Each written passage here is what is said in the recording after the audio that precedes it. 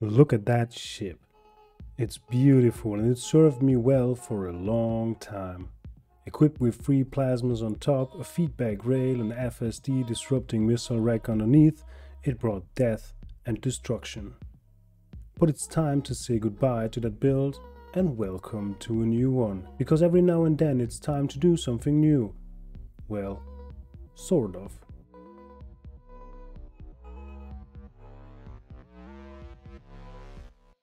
I flew over Shindes to get some testings done and, well, see for yourself.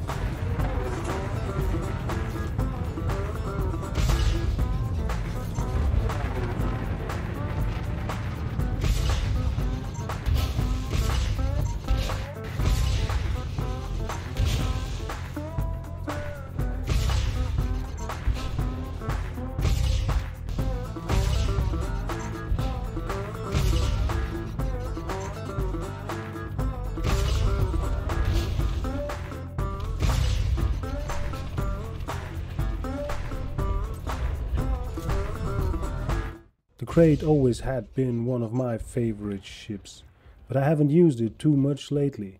But I guess that is about to change. Anyway, catch you later. Catch you later.